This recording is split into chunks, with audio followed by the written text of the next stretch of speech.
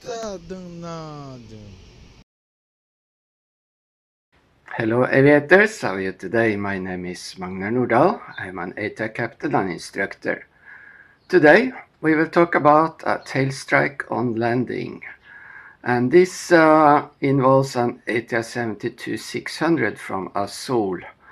They landed on Recife in Brazil on 22nd November. And um, as the video shows, they hit pretty hard with the tail. Mm, the weather conditions appear to be very good. Uh, the METAR 15 minutes after incident show uh, crosswind 10 knots, good visibility, high clouds. And the list of METARs also show very consistent weather, no gusts, so probably the weather has no influence on this landing. The aircraft in question was built by ATR four and a half years ago. It served in Wings Air in Indonesia until two years back, and then it was transferred to Brazil and Azul. It was painted in the Brazilian flag, so it's a really beautiful airframe. The video is provided by Papa Charlie Golf. I recommend you to check out the videos and website, so I provide a link below. And when we look at the video, we see the aircraft appears to be stabilized on approach. And uh, but then as they start to flare, they start to flare too high and it's too abrupt. What you want is a smooth rotation from descent, that's 3 degrees profile, down to zero and then you touch down. But for some reason here, the aircraft almost levels off much higher than that. And uh, as the speed starts to bleed off, you get a higher angle of attack.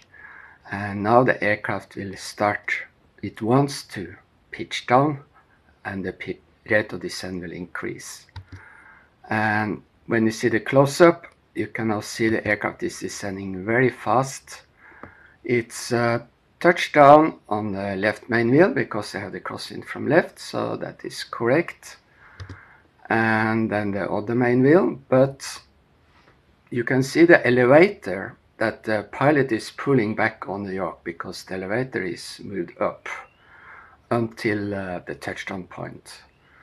And this results in a very high G touchdown and the tail hits uh, the ground. And just after touchdown the yoke seems to be moved forward. You see the elevator now pointing a bit down and more down here. You see some flames and sparks from the tail cone it is uh, but there is no fire after that.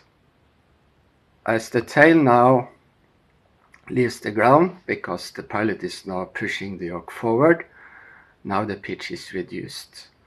But you have a very high impact and the landing gear on ATR is quite bouncy, so the aircraft is now starting to bounce up.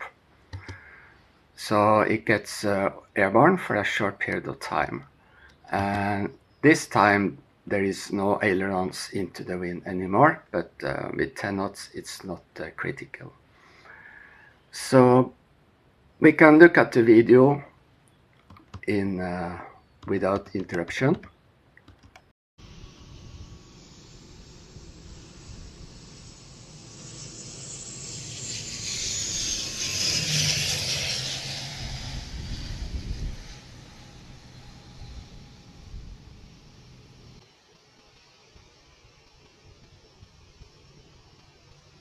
Eita danado.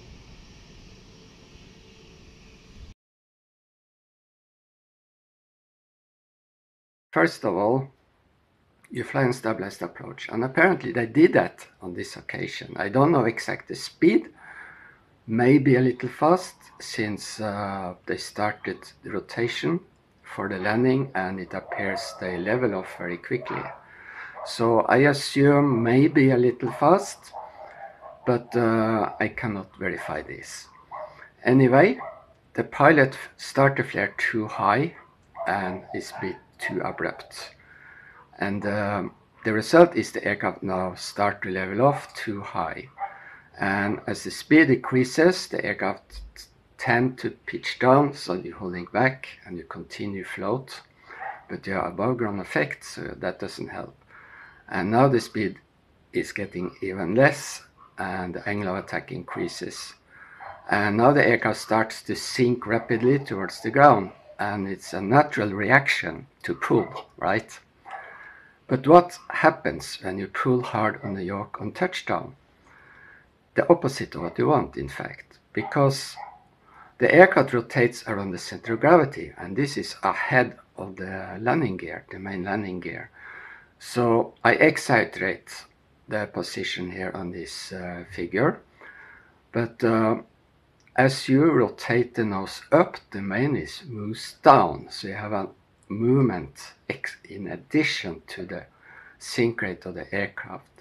So when you touch down, you have the sink rate plus the rotation of the wheel towards the ground.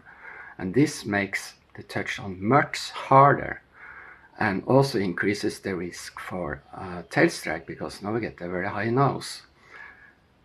So that said, what can you do? There are several options. First of all, when you start to float like this, it's better to go around. Absolute. Because no harm done.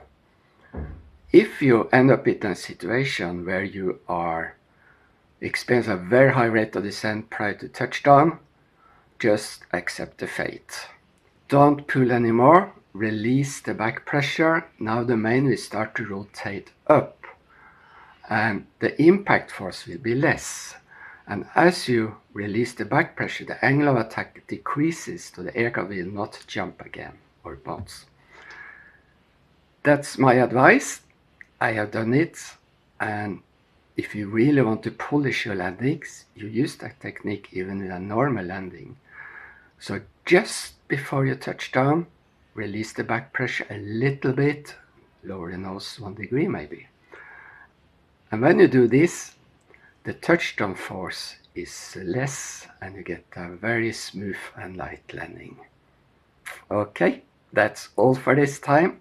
Thank you for watching. Have a wonderful day and happy landing. 100.